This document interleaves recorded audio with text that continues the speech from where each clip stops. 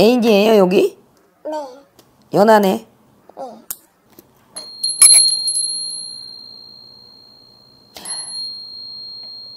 아직 시집 안 갔어요? 네, 첫사랑 만나고 이번이 두 번째 만나는 거예요. 그럼 너무 오래 길게 안 만난 거 아니에요 남자를? 어, 첫사랑에서 좀 상처를 많이 받아서 좀 사람을 안 만나고 있다가 그, 나한테 남자가 없나 보다 생각하다가 이 남자를 만났거든요. 첫사랑이라고 하면 되게 아주 오래 전의 얘기인데 제가 좀 이렇게 음, 20대 때는 일을 하면서 살, 살아가지고 어, 좀 남자 만나는 게 좀 늦었어요. 모태솔로가 길어가지고. 네네. 첫사랑에 대한 기억이 너무 아파요 머릿속에? 마음속에? 음, 그러니까 너무 좋아했던 사람이랑 한 10년 정도를 마음속으로 되게 좋아하고 그냥 옆에 있어도 그냥 내가 아 이 사람을 생각하는 것만으로도 좋다 생각하면서 한 10년 정도를 혼자서 좋아했거든요. 헤어지고 나서도? 네. 아, 뭐 멀리서 이제 뭐 그냥 뭐 SNS 보고 막 이러면서 이제 그냥 사는 거 보고 계속 연락하고 지내진 않아도 그냥 계속 옆에서 지켜보고 있긴 했었거든요. 아 그게 가능해요? 좋아하는 마음이 좀 깊다 보니까 그게 첫사랑이라서 그런지 좀 그런 게 그게 행복이라고 생각을 했어? 아니면 그걸 보면서 안 아팠어요? 아프기도 했지만 이제 조금 이제 그 사람이 이제 결혼하고 가정을 이루니까 이제 이러면 안 되겠다라는 생각이 들더라고요. 어쨌든 잊었다니 다행이네. 네, 그렇게 되긴 했어요. 그러고 나서 이제 일에 미쳐 살다가 네. 이러다 보니까 어떤 혼기를 놓쳤다 이 소리인 거죠. 그렇죠. 그렇죠. 근데 잘했어요. 음, 왜냐면 언니 사주를 모으잖아. 네. 일부 종사를 못할 사주라고 우리가 왜 무당들이 얘기를 하잖아요. 네. 그 사주팔자 때문이 아니라 언니라는 사람은 한 사람이 꽂히면 그게 다 내 운명이고 내 사랑이고 내 이건 줄 알고 너무 집착이 많아요. 그러니까 본인은 집착이라고 생각을 안 할 수가 있어. 네. 어? 근데 집중이 너무 많아. 집중이. 좀 매력이 있어야 되거든요. 네. 온리 다 줘버린다는 거야. 다 주니까 내가 아파하고 내가 헤어졌을 때 갖고 와야 돼서 내 추스릴 수 있는 퍼센트의 마음이 없어. 100%를 다 줘서. 그러니까 그 사람한테만 계속 꽂히니까 이제 다른 사람이 안 보이는 거예요. 그러니까 헤어졌어도 헤어지고 나서 막 3년, 4년, 5년, 6년, 뭐 2년 못 있는 분들도 많아요. 근데 언니 같은 케이스는 너무 오랫동안 내 마음 문을 너무 닫았다. 그런 것도 좀 있고 제가 고집이 좀 세서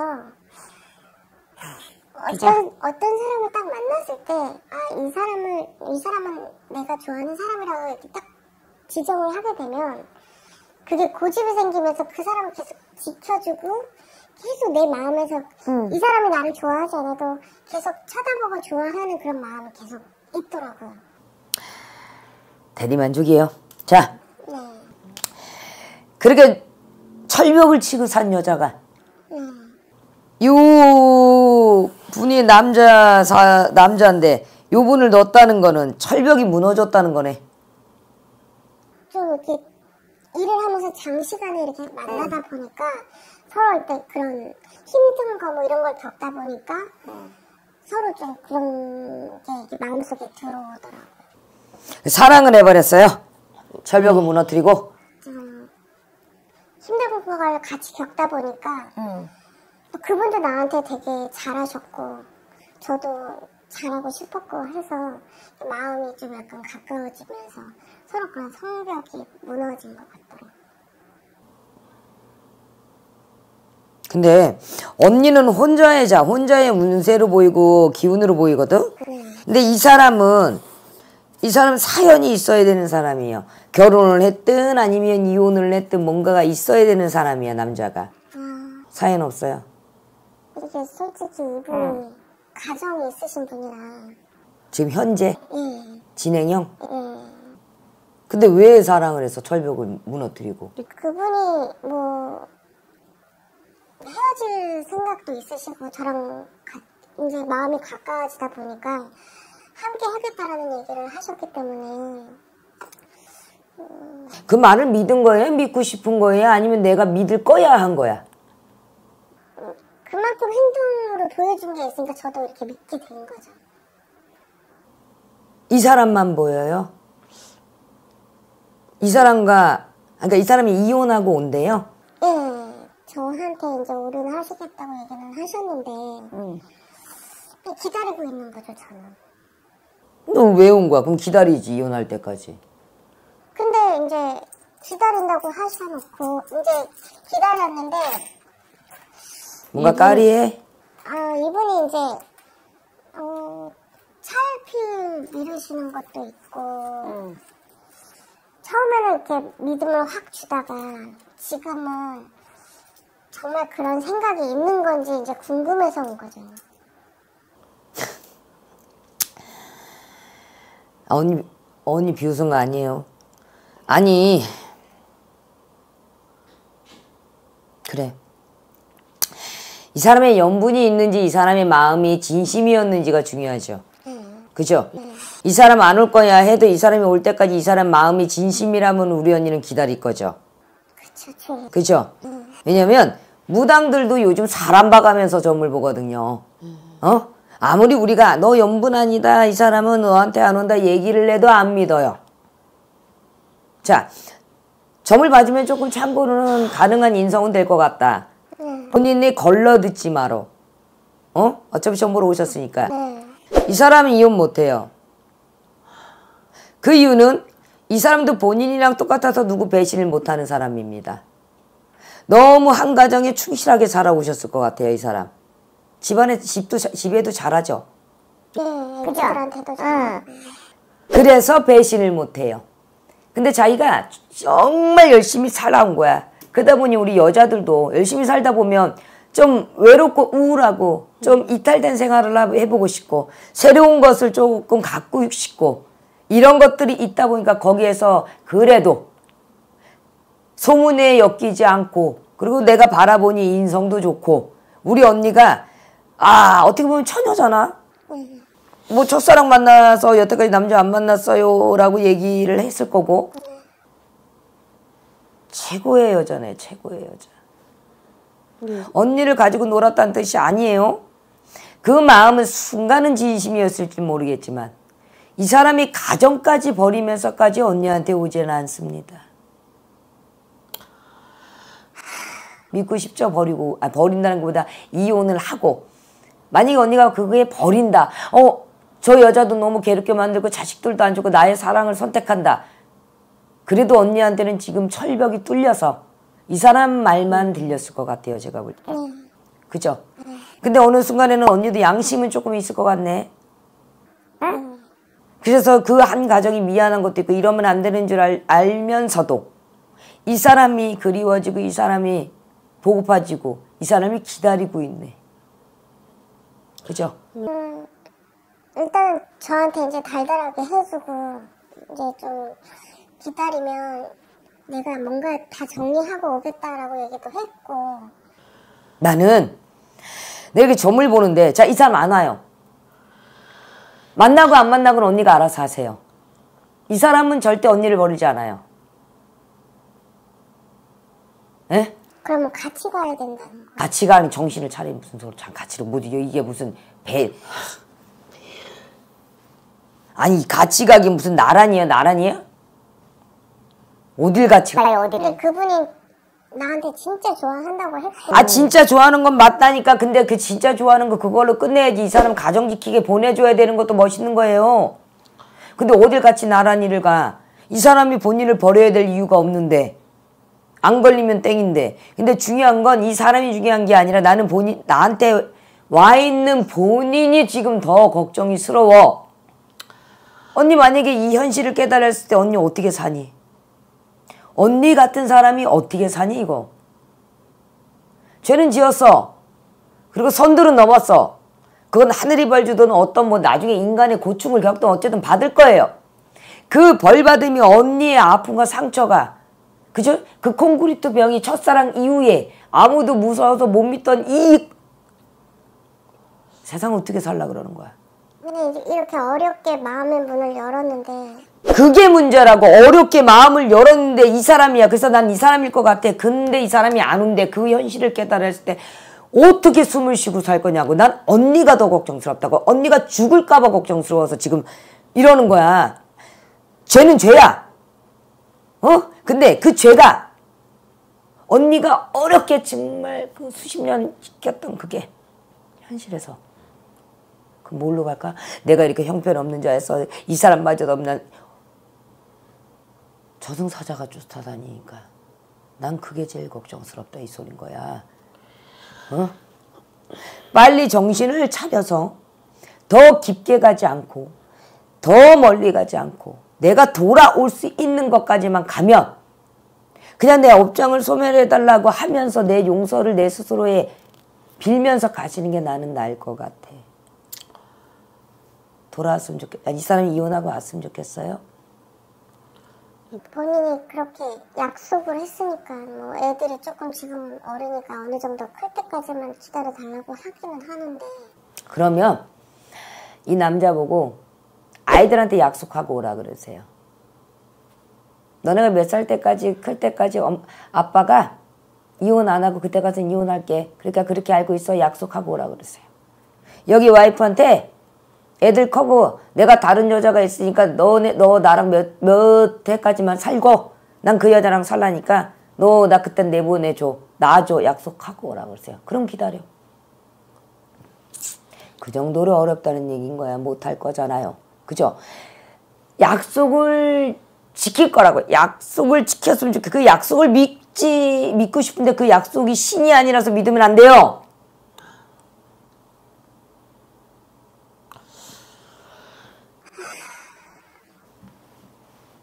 이러면 마음의 다, 마음의 문이 닫히기 전에 언니가 더 내가 봤을 때는 더 확인하려고 할 거고 그 약속이 진짜 지켜 그러니까 지켜 그러니까 그 약속이니까 약속을 지킬 거라고 더더욱 언니가 마음속에서 병이 생길 것 같아서 근데 이치적으로 생각을 해보자. 그러니까 인간 대 인간으로 생각을 해보자. 1대1 말고 내가 없었으면 이 사람이 나 그런 약속까지 하면서 가정을 깰까? 그렇게 형편없는 자를 만나요? 아니죠. 그죠?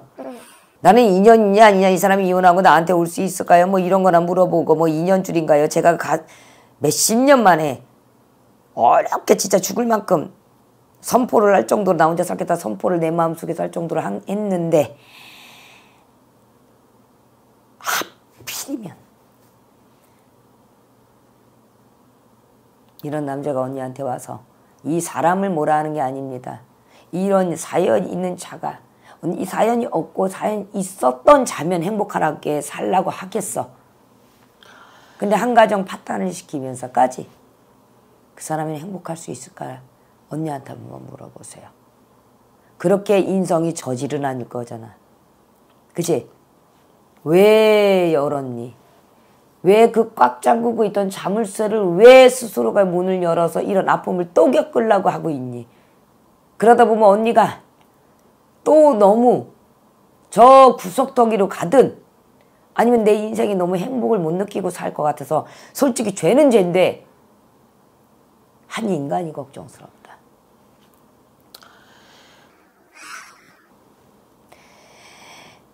죽고 싶지 않으면 내가 단명에 가고 자살하고 싶지 않으면 멈추세요. 어디 백나천나 어디 돌아다녀도 이거 연분이다 하는 분들 없을 겁니다. 그리고 남한테 피해 주면 나한테 꼭 오게 돼 있어요. 거기에 더 그냥 혼자 살아. 그냥 혼자 살아. 그리고 이 아픔이 지나고 나면 더더욱 혼자 살 거야. 근데 죽지 말고 혼자 살았으면 좋겠어. 그 이유가 언니가 너무 죄책감 때문에 죄책감을 떠나서 나라는 자기가 저 사람이 약속을 안 지켰다는 이거에 너무 빠져서 언니 스스로가 산목숨으로 못 살 것 같아서 빨리 멈추는 게 맞는 것 같아서 연분 아니라고 내가 지금 몇 번을 꼬집어서 얘기하는 거야. 알겠죠? 네, 알겠습니다. 정말이요. 집에 가서 어 약속 진짜 못 지킬까? 아직 의문이 와도 단칼에 자르세요. 사람은 연락하면서는 아름다운 이별은 없습니다. 그냥 스스로가 잠수 타세요. 이 사람한테만 잠수를 타면 돼. 그 아무 일도 없어. 그럼 그 가정도 그 자식도 그 아내도 본인이 어떤 살아가고 싶은 그것도 아수라장이 되지 않고 나서 네, 이게 사람이 제가 첫사랑도 그랬지만 이게 누군가를 이렇게 손을 놓는 것 자체가 되게 무섭고 힘들죠. 예, 그래서 그렇게 10년 동안 첫사랑도 좋아했던 거고 이 사람도 제가 지금 만난 거 한 3, 4년 됐는데